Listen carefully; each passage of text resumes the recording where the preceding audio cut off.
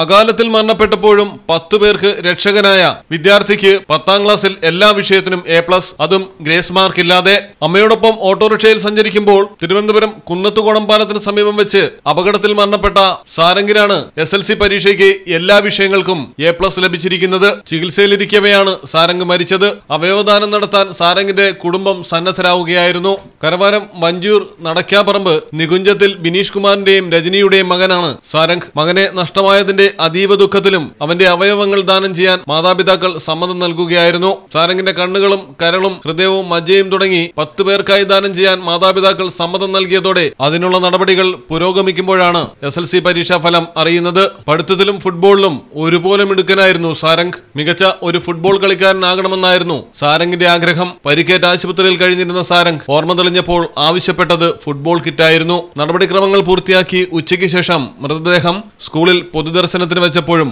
Football jersey അണിയിച്ചിരുന്നു. Malayalam television Thiruvananthapuram.